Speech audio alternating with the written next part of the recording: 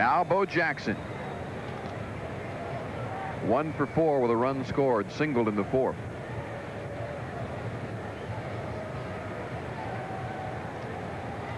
Bo struck out his last time up.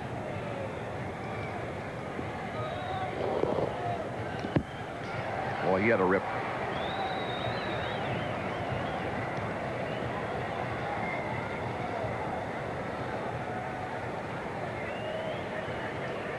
One strike to Jackson. Frank White at first base. Two men out in the Royals half of the ninth. They lead it six to five. Cleveland coming from behind with one in the seventh and three in the eighth inside to Jackson.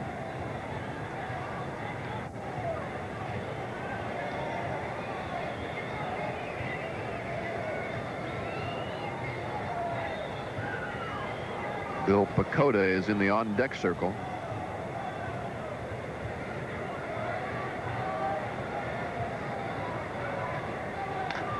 Bo hits it high and deep to right field. If it stays fair, it could be.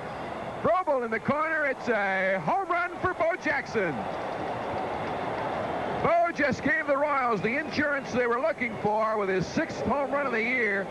RBIs 18 and 19, and the Royals lead now 8 to 5.